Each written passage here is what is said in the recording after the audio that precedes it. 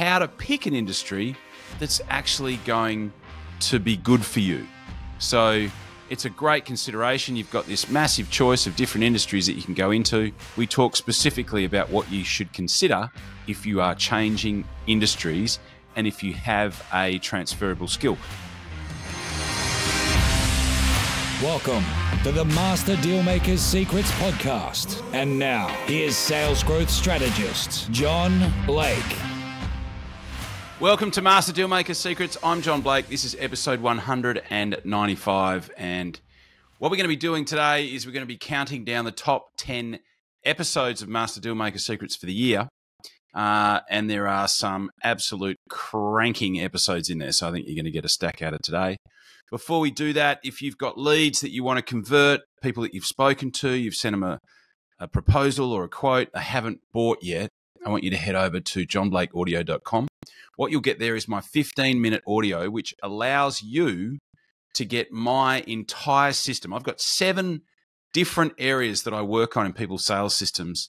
This gives you the blueprint for one of those areas, one of those places that we look, one of those leaks in the bucket what you'll get is a 15 minute audio that walks you through the entire strategy on how you can convert more of the people that you've spoken to, that you've submitted some kind of a quote or a proposal to, that they haven't bought yet. So, exactly what to write in your emails, exactly what to say when you ring up, exactly what to say when you get through, exactly what to say if you get voicemail. But most importantly, number one question I get is how often to call and how often to email over a 90 day period that will allow you to maximize those sales. There is gold sitting in your CRM in the proposal sent column. So many people ignore this.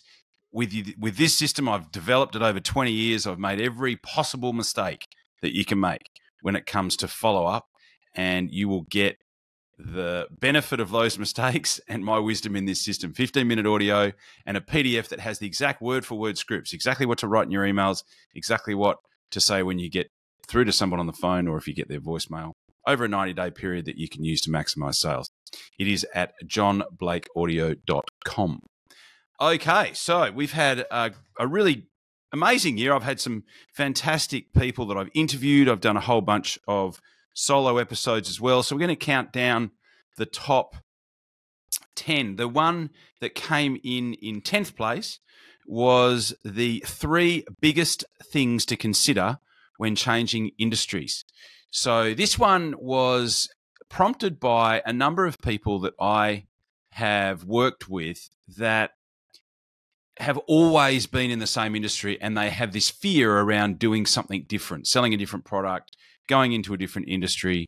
And this particular episode is perfect for you because if you've got, especially if you're in sales, if you know how to sell, if you know how to sell, sales is a transferable skill, right? You can transfer the skill of sales into other industries. So this is how to pick an industry that's actually going to be good for you. So it's a great consideration. You've got this massive choice of different industries that you can go into. And so, in that episode, which is 172, we talk specifically about what you should consider if you are changing industries and if you have a transferable skill. Not just if you're a salesperson, but that's obviously going to be really useful for that. Uh, if you're good at anything, but if you're looking at changing industries, what are the three biggest things that you should consider when you're doing that? So that came in at number 10. Number nine was how to how to close or, or how to plug the seven biggest revenue leaks in your business. That was episode 181. And that was a really popular episode. A lot of people have got the seven leaks that just happen to be the seven leaks that I fix when I work with people in my one on one programs and also in my 10 week sales mastery certification program, which I'm launching in uh, at the end of January. So if you're interested in that, you should email me. Uh, we're only accepting a small number of people, and I've already got three people, three of those places already taken. So if you're interested, just email me, john at john-blake.com.au. I actually answer my emails. It goes to a real person. I don't have any automation. So email me and I'll and I'll send you some details on that. So, uh, seven biggest revenue leaks, how to plug them, episode 181. Episode 177 was number eight, and that was how to ask better questions. So, at the core of your sales success will be the quality of the questions that you ask. And almost, I would say, close to 100% of the problems that I notice in sales come down to the quality of the questions that are being asked or the quantity of the questions that are being asked. So it's not just going to help if you ask more questions. You've got to answer the right. You've got to ask the right questions. So episode 177, we talk all about that. That came in at eighth place. In seventh place was a review that I did on a book that would probably be the most influential book that I've read in the 20 years that I've been in consulting, certainly, but probably in the 35 years that I've been in sales. And it's called The Ultimate Sales Machine. It was written by the late Chet Holmes, and it is really the cornerstone of a lot of what I cover in my programs, the way I operate my business. That was episode 175 the ultimate sales machine. So we talk about the book. I, I, talk specifically about the things that I have used in the book and implemented in my business. And there's a stack of things that you can learn in episode 175 that relate to the book. So that came in at seventh place. Sixth place, episode 173 When Bad Things Happen to Good Salespeople. So a couple of fairly enlightening stories of some things that have gone wrong and the lessons that I have learned from them. And I think it's important that, you know, we live in this world where so many people are showing you the highlight reel of their careers, the highlight reel of their lives. And I think it's important to to explain and talk about when when things don't go so well rather than just airbrush everything and, and make yourself look like a legend. Because in reality, it's the it's when bad things that happen that we learn the most. When things are cranking, when things are going incredibly well, we learn the least. It's not until things start going pear shaped that we start to actually learn and grow. It's where the nourishment is. So uh, that was a particularly popular episode, probably for that reason. Episode 173 that came in at sixth place. A lot of people who listen to the podcast want to know what we do over at Master Dealmaker Secrets. And effectively, what we do is we work with sales professionals and business owners all over the world who are seeing massive increases in their top line sales revenue. So we help business owners and sales professionals to effectively focus on the three key drivers to growing sales revenue in your business. The first one is controlling the message that you send out into the marketplace so that potential clients see and hear and read what you do as an opportunity as opposed to your competitors.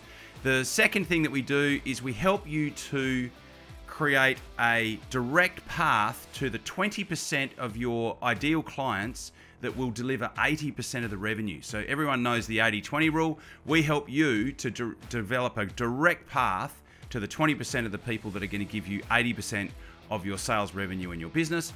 And the third thing that we that we allow you to do that we create a process for is for you to be able to double the amount of leads that you get that convert into paying clients. So if this is of interest, we do have an application only process to become involved in, in this particular program. And to, to get to there, all you need to do is, is to go to www.johnblakescall.com. So it's J O H N B L A K E S C A L L.com. And there's a couple of questions to answer there. And then what you'll do is, is get on a, a quick conversation with me and I can find out a little bit more about what you've got going on in your business and see potentially whether what you are doing would be a fit for what we could help you with. And at that point, I can extend an invitation if it's a fit, and uh, you can make the choice to come on board or not. So uh, that, that's the opportunity. That would be the next step if you're looking at how you can take things to the next level. If you're enjoying what you're hearing on the podcast, if you're getting value from it, uh, I invite you to do that, and uh, I will look forward to talking to you. The website is uh, www.johnblakescall.com. Talk to you soon. Episode 176 was the next most popular episode, uh, which came in at, at fifth place, and that was a review on the book Start with No. And the best thing about this particular book is that it talks about about questions, uh, asking questions that use reverse psychology, and and how we can phrase things to to get better questions by phrasing them in the negative, which is which is quite counterintuitive in terms of how salespeople operate. Uh, so that is and has been a very influential book in how I put my programs and my sales processes together for the different people that I work with. So that was that came in at fifth place. It was episode 176. The next one was a fantastic interview I did with a good friend of mine. Actually, just got back from the Maldives with Will on a surfing trip. Uh, surfing business networking trip it was actually um, that came in at, at number four that was episode 180 and we were talking about we, we, we talked was a pretty far reaching conversation about marketing in general about emailing about the, the different types of campaigns that you can put together about the industry in general. But Will has got some really great insights into emailing, lead generation, and and we, we there were some really good case studies that we talked about, both some that that I have. Uh, that, that I have worked with clients on, and, and certainly some that we'll work with some clients on. So that was a, a really enlightening episode, which is what came in at number four.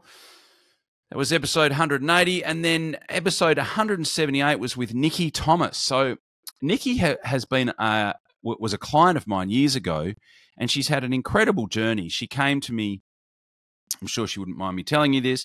She came to me with a idea for a coaching business that a particularly prominent coach had told her was a bad idea. So she had this idea and she went to this, you know, quite high profile coach in in in Australia, Australian coach, and said, "Look, this is what I'm looking at doing." And this woman said, "No, that's a bad idea. That's not going to work." And and so she was in a situation where she was about to go back. She was about to update her CV and and look to go back into corporate. And she and and she came to one of my events, and we were we were chatting, and she and she ran this idea by me, and I went, "No, you you can't, you can't go back. You can't go and get a job. You have to roll this thing out." And and so I, I helped her out with a with a couple of things in terms of her offer and getting some of her messaging right, and she just picked the ball up and run with it. And and she's got a fantastic business now. She empowers people around leadership, around personal boundaries, both she started off with females, but she also works with males now too, and has got a fantastic uh, list of success stories, people that she has helped to to to really grow significantly by how they lead themselves and how they how they deal with other people in their lives, both in business and personally. So that was uh, episode 178 and came in at number three. Then number two was an interview I did with Eli Wild, uh, who is someone who I have learned a number of, of things from. I have been in a couple of his programs, and uh, and that was a fantastic conversation. We have learned from some of the same people, and that was episode 174, and that came in at number two. So that was a, a really great a really great conversation about sales processes. We talked about NLP uh, using NLP in the sales process. And we talked a bit about Eli's background, and and I think you'll find that was a really really popular. He's actually got quite a high profile. He's got a Facebook group with about you know just under ten thousand people in it. So uh, yeah, that, that that's a ripper, and that one is is episode 174. If you would like to check that one out, and then coming in at number one, and uh, I will. Um, I actually told Trevor about this the other day. Was an interview that I did on on offers, irresistible offers, and offers that convert with Trevor Toe Cracker Crook. Uh, that's episode 179. So I will tag both Trevor and Eli in this episode so that um, people can see uh, that they featured in number one and number two place in the yearly Master Dealmaker Secrets wrap. Um, so yeah, awesome. I'm going to have Trevor back if he'll come and talk to me again on the on the podcast. Uh, so yeah, number one was Trevor Toecracker Crook. Uh, you can find him on Facebook, but have a listen to the episode and uh, and have a listen to what we talked about. It was a lot of laughter and uh, covered a lot of really good uh, nuggets in terms of marketing and cr- the creation of offers. So um, I want to take this opportunity for thank to thank you very much for listening, and uh, I really appreciate it's it's uh, an interesting endeavor podcasting because you never really know who's listening. But I get people that approach me and say, "Oh, I listen to your podcast," and and uh, yeah, so I really appreciate everyone listening to it every week. Uh, thanks for uh, yeah continuing to do so, and uh, it looks like I need to get more people that I need to interview on the podcast for next year. So I will endeavour to do that. Given that the the number one, two, three, and four ep- episodes the entire year were interviews with people, so I will continue to find interesting people to talk to, and I will. Um, yeah, again, wanted to say thank you for for tuning in each week. Have a fantastic break, and I will talk to you on the next podcast. Cheers. You've been listening to Master Dealmaker Secrets with John Blake. Subscribe to get more in depth strategies and maximize your sales process with new episodes every other week. And double your inquiry to sale conversion with the lead flow you already have. Go to johnblakeaudio.com for his exclusive, free, no fluff audio training and companion PDF guide.